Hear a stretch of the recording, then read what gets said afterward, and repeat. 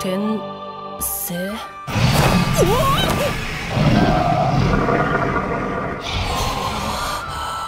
俺はルシエル。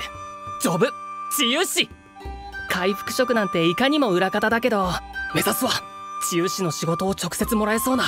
冒険者ギルドへようこ基礎からビシビシ行くからな。逃げ出すなよ。ふん。こっちの世界にもブラックってあるの？ヒールヒールヒールヒール